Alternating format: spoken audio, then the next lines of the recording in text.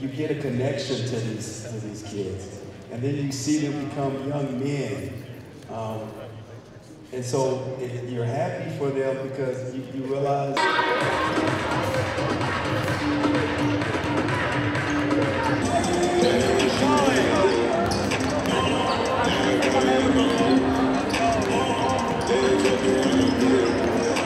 San Ysidro for one final time this season. Make some noise for the Border Boys!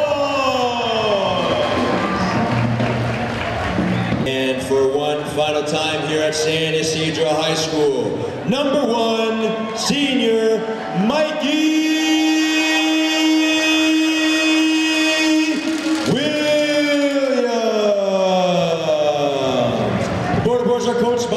champion Coach Terry Tucker.